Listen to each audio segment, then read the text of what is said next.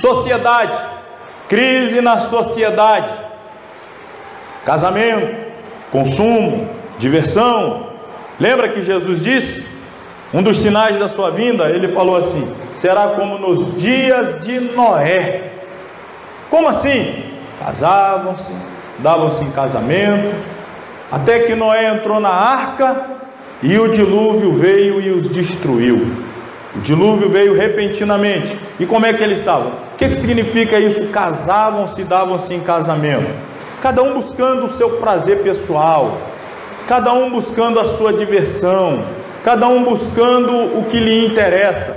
Poucos interessados na vida espiritual, colocando Deus para fora da sua vida, colocando Deus para fora de suas prioridades, fazendo seus projetos nos quais Deus não faz parte. E aí Jesus falou: quando a sociedade tiver novamente essa cara que tinha a sociedade dos dias de Noé, aonde o povo, cada um buscava os seus interesses, ninguém se importava com Deus, a porta vai se fechar e o dilúvio, a grande tribulação vai cair sobre todos. Estamos vivendo esses dias, os dias de Noé. Movimento de inversão de valores morais, não é esse movimento? Tudo que é lei agora sempre em defesa desse grupo. Ué, existem leis, irmãos, para proteger o ser humano. Não precisa ter leis especiais para proteger um grupo especial um grupo distinto. Isso aí já é uma sociedade que está dando preferência a um grupo. Isso é inversão de valores. E a gente vai percebendo isso sendo empurrado goela abaixo a nós todos os dias. E se você faz uma crítica, por mínima que seja como essa que eu aqui estou fazendo, aí os rótulos que vêm sobre você, e não vai me admirar de depois vir vários aí nos comentários por conta disso, e lá vem, esse te xinga disso, você é isso, você é aquilo, aquilo outro. Você tem que aceitar, aplaudir, achar bonito, se bobear, ainda tem que incentivar. Não pode ter uma, uma, um conceito contrário, você não pode ter uma ideia contrária. Estamos num movimento de inversão de valores. E assim está funcionando.